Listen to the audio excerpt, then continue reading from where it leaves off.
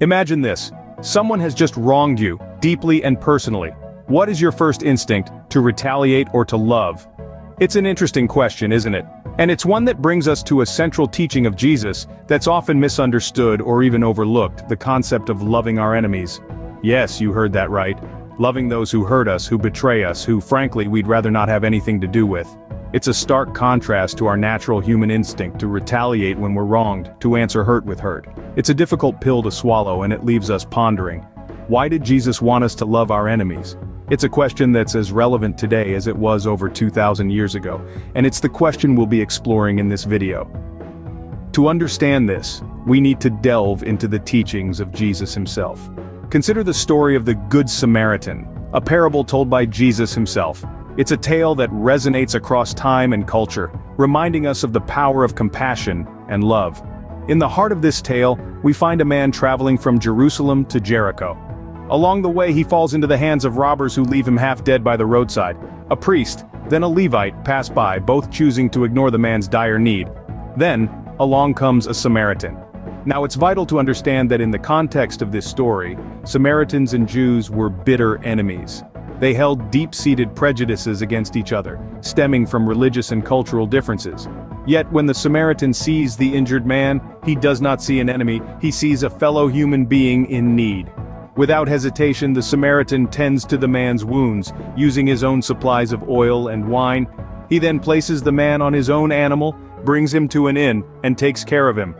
The following day he gives the innkeeper two denarii, a significant sum, and instructs him to look after the man, promising to repay any additional expenses upon his return. The parable ends with Jesus asking which of these three do you think was a neighbor to the man who fell into the hands of robbers? The answer is clear the one who showed mercy. Jesus responds, go and do likewise.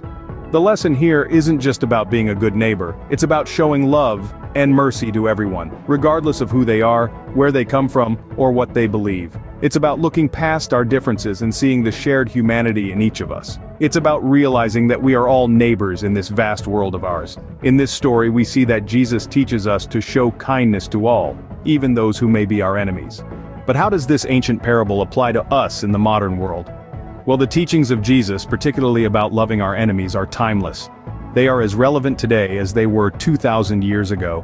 In the hustle and bustle of our fast-paced lives, it can be all too easy to lose sight of this fundamental principle. But in truth, these teachings have the power to transform our relationships, our communities, and even our world. Consider for example the conflicts that often arise in our workplaces, schools, or even homes. Misunderstandings can quickly escalate into hostility. Yet what if we chose love and understanding over retaliation? What if we decided to see the person behind the disagreement, to recognize their humanity, their worth, just as the Good Samaritan did? Or think about the larger conflicts we see in the world today, nations pitted against each other, communities divided by hatred and fear. What if leaders chose to love their enemies as Jesus taught? What if they sought to understand the needs and concerns of the other side, to find common ground, to work towards peace?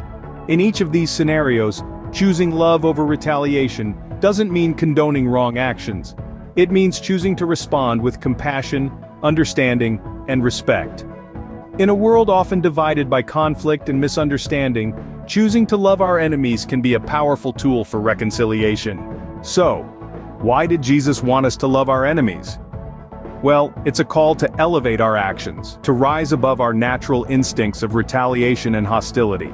We learned this through the parable of the Good Samaritan, a timeless reminder of showing compassion to those we might otherwise see as adversaries.